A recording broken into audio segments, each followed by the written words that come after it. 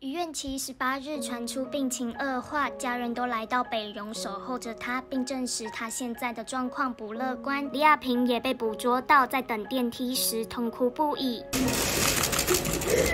谢谢大家，我我真的，我我都不知道怎么办了。谢谢大家，谢谢。哎，手机往后。起初还维持镇定，但讲到后面，情绪也渐渐失控。院长打电话给我说，你的状况不好，所以我就赶来，早上就在这里了。那现在是昏迷的状况吗？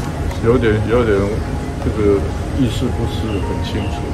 那他有刚刚有醒过来说话吗？有，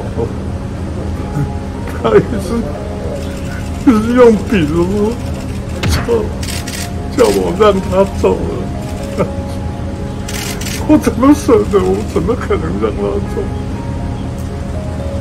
我说不可以，我说白日让我走，怎么可以这么残